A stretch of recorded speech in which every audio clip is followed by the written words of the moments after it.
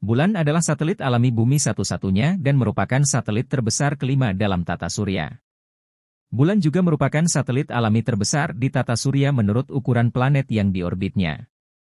Di antara satelit alami lainnya, bulan adalah satelit terpadat kedua setelah satelit Jupiter. Sebutan lain untuk bulan dalam bahasa Inggris modern adalah lunar, berasal dari bahasa Latin luna. Sebutan lainnya yang kurang umum adalah selenik, dari bahasa Yunani kuno selene, yang kemudian menjadi dasar penamaan selenografi.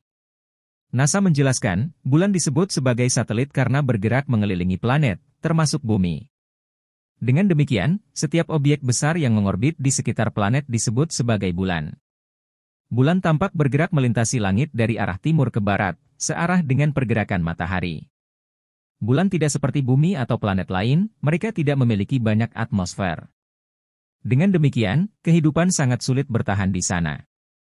Kendati demikian, lanskape yang tampak mati bulan bisa menyembunyikan tanda-tanda kehidupan mikroba.